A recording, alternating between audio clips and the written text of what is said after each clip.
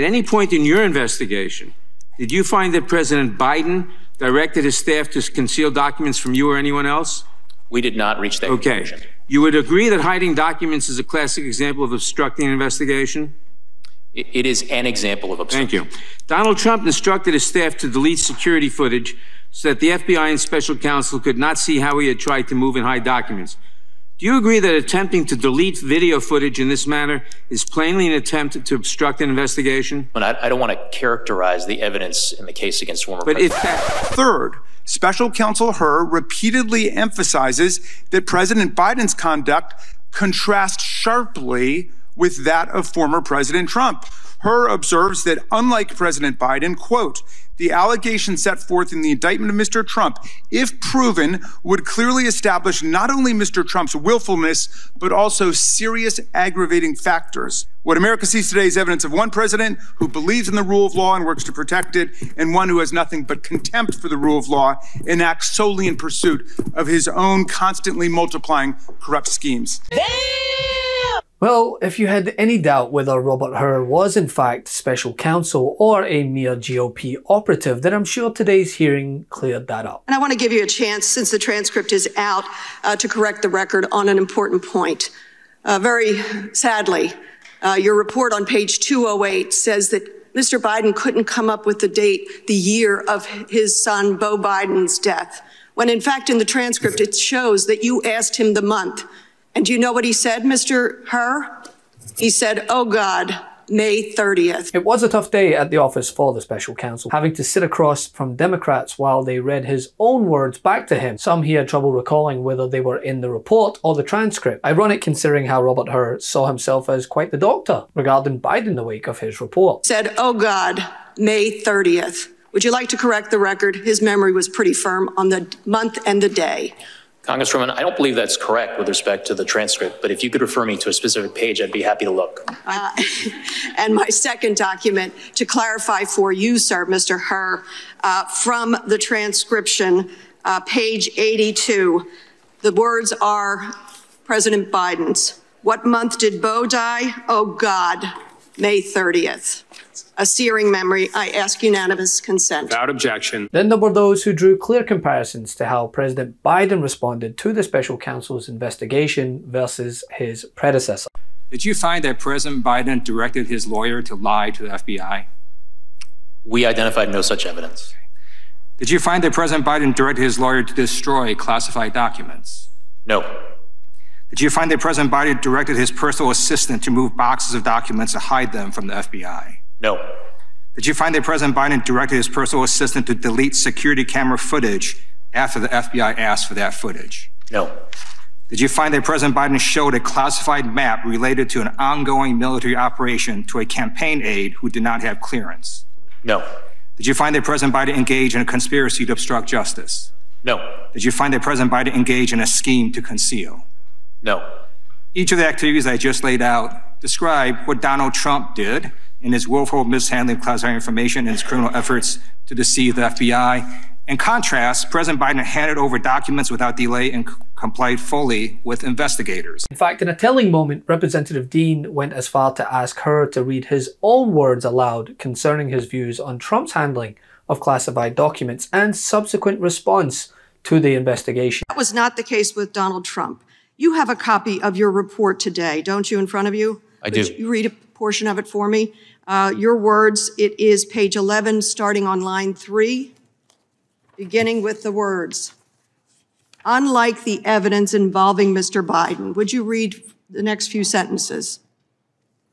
Unlike the evidence involving Mr. Biden, the allegations set forth in the indictment of Mr. Trump, if proven, would present serious aggravating facts. Keep going.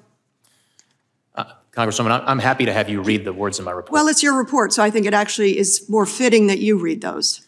Most notably, after being given multiple chances to return classified documents and avoid prosecution, Mr. Trump allegedly did the opposite. Keep going.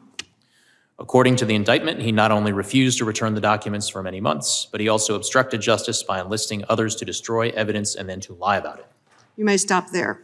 Thank you. But amidst the many highlights rounding out this nightmare for the GOP was Jamie Raskin's remarks. Raskin, as we know by now, does not waste a single second of his time. And he outlined the real memory loss on hand, that in which Hur seems to have regarding his own views of the former president of the United States, Donald Trump, and how he acted while in possession of classified documents. You say, quote, most notably, after being given multiple chances to return classified documents and avoid prosecution, Mr. Trump allegedly did the opposite. According to the indictment, he not only refused to return the documents for many months, but he also obstructed justice by enlisting others to destroy evidence and then to lie about it. Have you any reason to change your judgment about the differences between President Biden's cooperation and the former president's non cooperation? No, I continue to stand by those words in my report. With such a striking contrast, our colleagues have switched over from being impeachment investigators for constitutional high crimes and misdemeanors, which is how this whole thing started, to being amateur memory specialists, giving us their drive-by diagnoses of the President of the United States, whose soaring oratory, powerful historical analysis, and devastating extemporaneous repartee with even the most skilled ninja hecklers of the Freedom Caucus were on full display at the State of the Union address last week for the whole country to see. The desperate quest to invent an issue is a distraction from the 91 federal and state federal charges that Donald Trump faces now, his staggering civil court losses in New York now totaling more than a half a billion dollars, and his full blown embrace and romance with authoritarian dictators and communist tyrants all over the world, from Viktor Orban in Hungary to Vladimir Putin in Russia, the former head of the KGB, to the communist dictator of North Korea. The desperate quest to invent an issue is a distraction from the 91 federal and state federal charges that Donald Trump faces now, his staggering civil court losses in New York now totaling more than a half a billion dollars and his full blown embrace and romance with authoritarian dictators and communist tyrants all over the world, from Viktor Orban in Hungary to Vladimir Putin in Russia, the former head of the KGB, to the communist dictator of North Korea. It's not, this, my friends, this is a memory test. But it's not a memory test for President Biden. It's a memory test for all of America. Do we remember fascism? Do we remember Nazism? Do we remember communism and totalitarianism? Have we completely forgotten the sacrifices of our parents and grandparents in prior generations?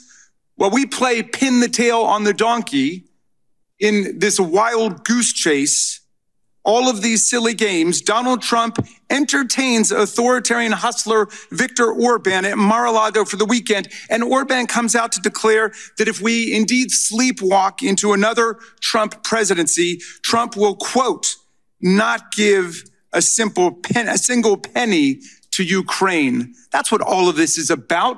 It's about trying to pull the wool over the eyes of America because the tyrants and dictators of the world are on the march today. So who wins with this ludicrous, embarrassing spectacle? Orban wins, Putin wins, Xi wins, the tyrants of the world win. They have one more reason to celebrate Donald Trump and his cult followers who've completely lost their way. They're looking for high crimes and misdemeanors. Now they appoint themselves amateur memory specialists, and that's what they pounce on the president of the United States about. America faces a choice between democracy and tyranny.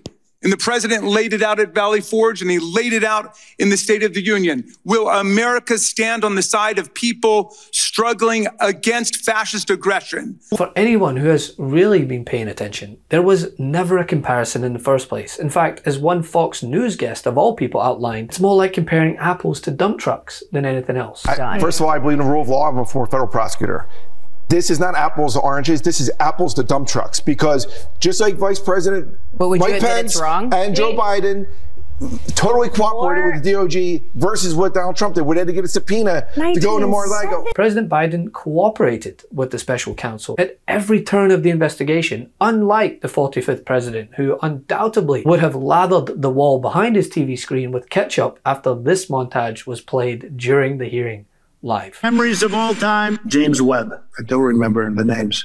Don't remember the name. Viktor Orban. Did ever anyone ever hear of him? He's the leader of Turkey. By the way, they never report the crowd on January 6th. You know, Nikki Haley, Nikki Haley is in charge of security. Three years later, later, later. How about that? Did you actually have a one-on-one with Comey then? Not much. Not even that I remember. I like Besitos. We have languages coming into our country. We have nobody that even speaks those languages. They're truly foreign languages. Nobody speaks them. Saudi Arabia and Russia will repeat your. Oh.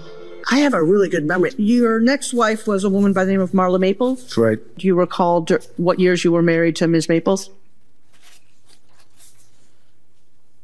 Um, it's called like up here and it's called memory. I know my people. You'll say, all right, Trump, you did a good job. Get the hell out of here. That's it. What today's hearing goes to show is that her intentions were so far from impartial, it's laughable. Despite on numerous occasions voicing his concern to the behavior of Donald Trump regarding classified documents, he veered away from personal remarks regarding his health and mental capabilities, but yet reached for his white coat after speaking with Joe Biden. The only job Hur had was to investigate whether Biden willfully retained classified documents, which it was deemed he did not. It was not to go into detail regarding his cognitive capabilities. And the president was in front of and on top of it all, asking questions and requiring that America's military and intelligence community and diplomatic community would figure out and know how many people were dead.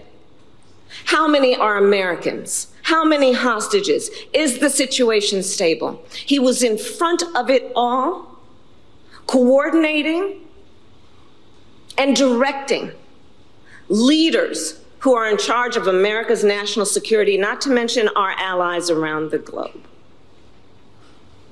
for days and up until now, months. So the way that the president's demeanor in that report was characterized could not be more wrong on the facts and clearly politically motivated, gratuitous. And so I will say, that when it comes to the role and responsibility of a prosecutor in a situation like that, we should expect that there would be a higher level of integrity than what we saw. Especially when he was going to shelve his lab coat when sharing his remarks on this dude. Love of Christ, the stories of the Holy Bible, and the voices of famed evangelical people and evangelists, evangelists like. Love this video? Make sure you stay up to date on the latest breaking news and all things Meidas by signing up to the MeidasTouch newsletter at MeidasTouch.com/newsletter.